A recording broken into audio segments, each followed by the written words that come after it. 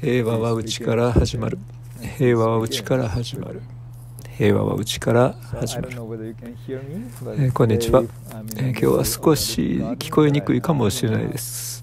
え、家の小さな庭から放送しています。まあ、天気も良くて気持ちがいいので、まあ、家にいるよりも外でレコーディングをしてみようかと思いまして、えー、ここにおります、えー、まあ、週末っていうのはやっぱりゆっくりとね、まあ、リラックスして過ごしたいものです、えー、中垣です、え TK ダルマチャンネルをご視聴いただきありがとうございます。えニューヨークからお届けしております。私自身はあのクイーンズの方、まあ、ほぼ郊外の方に住んでいます。えー、まあ、ここに座ってるとね自然に囲まれ自然を感じることができます。今日は地球の日の50年のご縁でこのビデオを作ることにしました。ところで少し、まあ、風がありますが聞こえますかね、えー、結構ちょっと強くなった感じがします。えー、冷たくはないんで、まあ、どちらかというと暖かくて、まあ、すがすがしい感じですかね、えー、まあ、自宅待機で一日中家にいることもあるので、まあ、たまにはこうして外に出るのがいいですね、はい。まあ、この晴天のこの青空を見ながらまた花が咲きてねそして緑に囲まれて蝶々そして鳥なんかも飛んでます、まあ、こういうのを、ね、家にいるとやっぱり忘れてしまいますねはい。まあ、横の隣ではね子供がバスケットをして、まあ、録音の直前ぐらいに犬が鳴いてましたよね、えーまあ、それしてもねこういうふうにして、まあ、座ってると、まあ、何か全くね違ったような感覚になりますね。はい。まあ、世界っていうのはなんかこう平和な感じがするし何も起こってないような感覚になりますね。不思議なもので、まあ、それこそ人間以外の生活は平穏なのかもしれないです、まあ、しかしまあこれもね人間の目から見るとこう違って見えてくるわけですよね。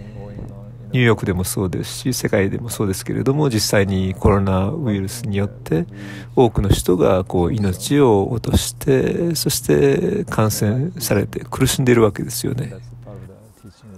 お釈迦様諸行無常すべてのものは移り変わっていく常住で変わらないものはないすべてのものは縁起によりまた因果関係によってこう変化していく一旦人間に生まれたものは生きている限りは避けて通ることができないものがあります。それが老いであり、病であり、死です。だからこそ、この生きてる今を感謝して生きていくっていうこと。これが大切ですね。この人生をどう生きるか。まあ、それは、こう、一人一人の責任であろうと思います。あのまあ、外は面白いですね、えー、こう外にいると思いがけないことが起こりますねはい今音が聞こえました、えー、騒音が聞こえてましたね、まあ、人生もある意味でそうですね。いろいろこう計画してもいいと思うんですけど、えー、なかなかその通りにはならない。まあ、計画通りにいかないのが、まあ、人生と思った方がいいのかもしれません。なぜ今このビデオを作っているのか 自分でもちょっとよくわからないところがあります。たまたまそういう状況が出来上がっていたために動画を作成することになったということですよね。コロナウイルスが起こってなければ動画を作ることはなかったでしょうし、まあ、なんかどういう因縁でしょうね。このもう今でだいたい動画経験歴というか は、えー、1ヶ月になりましたね。はい。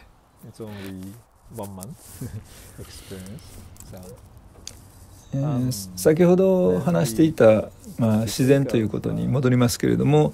えー、同じコロナを見るっていうのもこう立場で変わってきますよね、えー、コロナウイルスが世界に広がって地球はずっときれいになってきています。まあ、空気も水もきれいになってますね。地球の振動もこう減ってきてるって言われますこう多くのことがコロナによって変わったわけです人間の産業活動っていうのがこう休止して車が以前に比べるとすごい減りましたよね。えー、このニューヨーク市の車の数ってすごい量なんですけれども、えー、今の状況では考えられないぐらいですよね。はい。ゴーストタウン化してるというか、そういうふうにも思われます。これだけね、変化が起こって、地球にとってはまあ非常に有益なことだと思います。えー、温暖化の問題で特に車の排気ガスを規制するっていうことを言ってましたけれども今はその問題なんかなくなってますよね。地球全体がこうこう保養されて、まあ、清掃されてるっていう感じがします、まあ、これはもちろんどこまで続くのか分かりませんけれどねこのコロナのこうえウイルスを通して学ぶことがたくさんあるのではないかと思います。共に我々はこの地球に住んでいる。この地球を大切にする責任があると思います。今まで人類が地球に大きな被害を与えてきたように、ある意味でそれを考えるとね、地球にとってのウイルスってのは人間ですよね。まあ一方から言えば、コロナウイルスは地球を癒してそして治療してるっていうことになるわけです仏教の、まあ、観点で言えば目覚めるっていうこと気がついていくアウェアネスっていうのはすごく大切です。自分自身の心に気がつきこう宇宙の真理に目覚めてどのように宇宙が動いてそしてどうやって真理が動いていくのか。ていうことに気がついていくお互いにこう関わり合ってるっていうことは非常に大切な考え方なわけですね。英語だったら interconnected です。まあ縁起ですね。えー、我々はどう互いに関係し合ってるのかっていうのを本当に気がついていくこと。今回はそれにこう気がついたんじゃないかと思うんですよね。もしそうだったらコロナウイルスが終わった後で、えー、どうすれば自然と調和を保てるかっていうことを考え始めねばならないだと思います。そして人間だけでなくてこう動物や他の生物もね幸せにこの地球で生きていけるような共存できる世界をね作っていく必要があるんだと思いますね。まあもちろんどうやったらこのこの共存できる世界を起こせるのかまあ、大きな問題ですけどね。はい。えー、まあ、私自身はこう、日本人ですけれども、最近日本の培ってきた文化の中にね、こう、自然と人間が共存する社会のヒントっていうのがあるように思ってます。まあ、家なんかを建てる時でもただ木々を好きなだけ切り倒して建てたっていうんじゃなくて自然との調和を考えて建ててきたわけですよね。だから自然を破壊するっていうんじゃなくて自然と共に生活する社会っていうのがあったわけです。自然から恵みをいただいて昔からこうリサイクルのシステムっていうのはできてましたよね、えー、そういう目覚めっていうものに基づいて、まあ、多くのことが考えられると思います。このウイルス、えー、コロナがどれだけ人を通してこうね、えー、伝わったというか媒介として広がったっていうことに目覚めていくんだったら、まあ、それはみんながこう関わり合って生きている世界にあるんだ命はつながってるんだっていうことをこう、まあ、分かりますね。まあ、中国の一都市で起きたことが世界中に広がったっていうことはどれだけ世界がこうつながり合って生きてるかっていうことを自覚しなければならないし今後の社会っていうのはそれに基づいていく。えー、まあ、どう、この社会、この地界、どうなっていくのかな。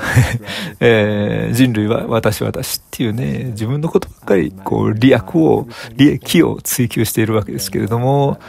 うんね、自分さえ良ければいいっていう自己的な考えっていうのがいろんな問題を起こしてますからね。